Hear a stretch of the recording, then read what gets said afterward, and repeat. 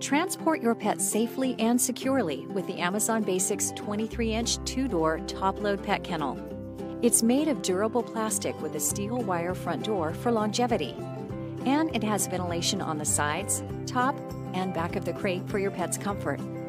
The kennel has a door on top and in front so you can load your pet with ease. It also has a handle on the top for easy one handed carrying. You will love how easy the Amazon Basics 23 inch two door top load pet kennel makes traveling with your pet.